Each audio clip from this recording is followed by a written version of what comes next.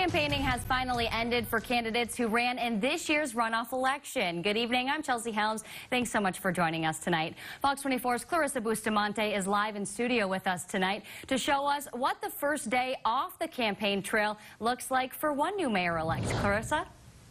Chelsea, today Randall Noblett, the new Cave Springs mayor-elect, spent his day picking up signs as well as signing his official certificate of election.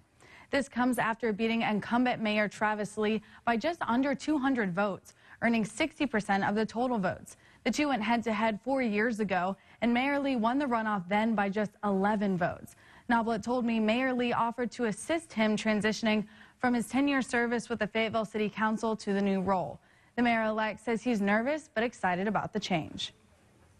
I want to build that sense of community as well as uh, do what's right for the city and the people that live there because ultimately it is the people that I work for is it's the people that live there in Cave Springs.